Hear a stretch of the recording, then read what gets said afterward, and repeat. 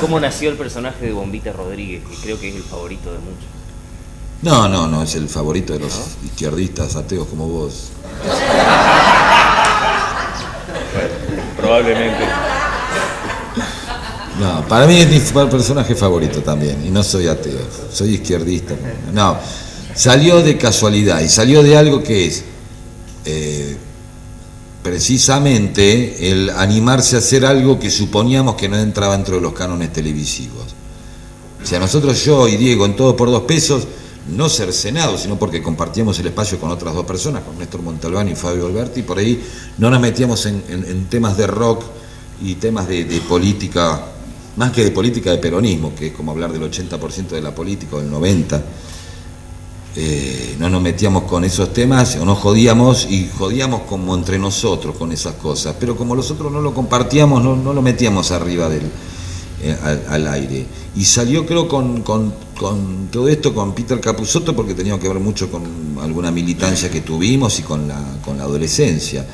Eh, y nuestra juventud en el marco de la reapertura democrática del país. Eh, entonces nos era natural joder con estos temas de, montoneros y de Perón, pero por ahí nunca lo habíamos hecho al aire.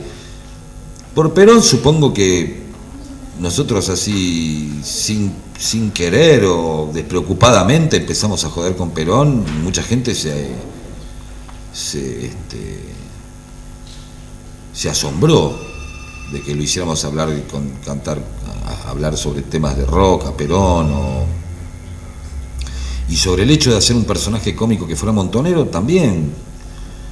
Era como, como, como hablar de un tema casi tabú, o cómo poner este, a, un, montonero, obviamente, era tabú porque está relacionado en gran parte con una tragedia y con, con un genocidio eh, y, creo que tuvimos la suficiente intuición como para volcar a ese personaje en un estado previo al genocidio en el cual no rozábamos ese tema, el, tema está tácitamente aparece, pero nunca hay un chiste sobre torturas. Es más, toda la vida de Bombita es la previa, lo que se cuenta es el estado previo a la dictadura y que creo que también tiene algo de eso, de haber rescatado un momento sin ver lo que eh, iba a venir después. O sea, observarlo sin hablar de la dictadura, ¿se, entiende?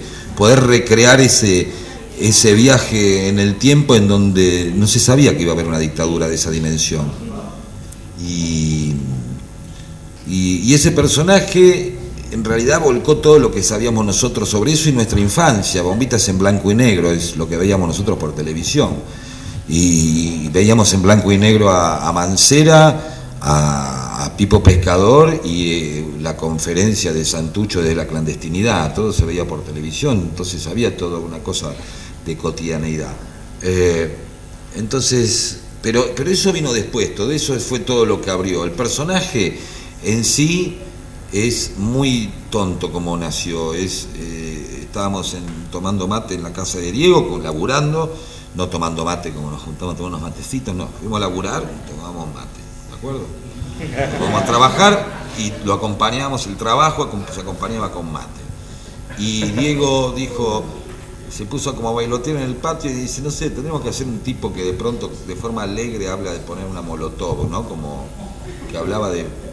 Porque por la contradicción del humor, ¿no? O sea, hablar alegremente de poner una molotov, este, no, sin, porque también una canción lo pone en, términos, en un rap puede hablar de poner una molotov, una canción de calle 13, pero lo dice, creído, ah, de power, ¿no? Nosotros era un tipo que, eh, poner y ahí jodíamos con eso, y ahí se empezó a dibujar. ¿Qué es esto? Es como un palito Ortega, ¿y qué era? Es medio izquierdista, un cantante de protesta, pero no nos alcanzaba con eso, y hicimos montonero, porque nosotros somos peronistas, entonces hicimos monto y del, cosas empezó a ver toda esa fantasía de, una recreación de un mundo de entretenimiento de izquierda peronista, ¿no? Eh, o sea, se fue modelando el personaje. Quiero decir, vuelvo a decir, no, uno lo conoce el personaje, ya ha crecido, con historia terminado, pero eso tuvo un proceso donde ni yo ni Diego sabíamos que iba a terminar ahí. Y a veces esas cosas de hacer esos personajes hace que la gente todos los años nos pregunte, ¿y este año cuánto? No sé, no sé, yo no sé qué personaje va a haber. ¿Qué personaje nuevo va a haber? No lo sé. Por ahí estuvo un año donde salen sketch con un personaje que, sale una vez sola y ya. Los personajes se, arman cuando salieron dos o tres veces.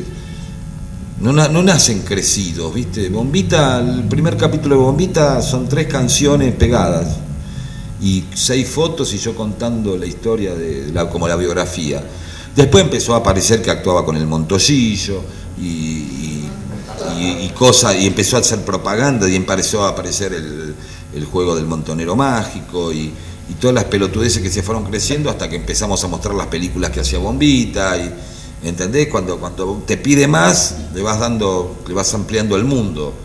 Un personaje por ahí arranca y cierra y se queda ahí. Hay personajes que no se mueven. Yo Luis Almirante Brown es un personaje que no se mueve de una entrevista y una actividad que enseña y las canciones. Y con eso alcanza, simplemente siempre tiene alguna cosa nueva que está haciendo, un taller de cine, o un taller de poesía, o un taller de teatro, o siempre está como enseñando algo y tiene, arma un movimiento y, y ese personaje no, lo vemos saliendo más de, de ese tránsito, ¿no? Eh, eh, pero los personajes a veces nacen así, o Pomelo nació que en un tipo lo único que hacía era tiraba todo, pero ah, veía una mesa y la tiraba y decía rock and roll y se tiraba al piso, era como, una, como un estúpido. Después esa estupidez y esa egomanía se fue puliendo y, Pomelo llegó a tener como una carnadura psicológica que eh, eh, empieza a tener su propia aventura y, y, se trata de cómo reacciona el personaje. Entonces, de qué se trata esta semana. Y hagamos Pomelo en un festival de cine. Y él tiene una manera de moverse en un festival de cine. Le va a pasar algo, o va a provocar algo. O Pomelo va a una iglesia anglicana. Algo va a pasar con Pomelo, porque, ya, ya sabes que ese personaje, como tiene su propia personalidad, puede reaccionar de distintas maneras. Y, y así es como reacciona y se van armando las historias. Y otros personajes tienen como un carril muy cortito, ¿viste? Muy, muy, que no lo pudimos sacar de ahí, por ahí, o que no, no nos interesó. Yo.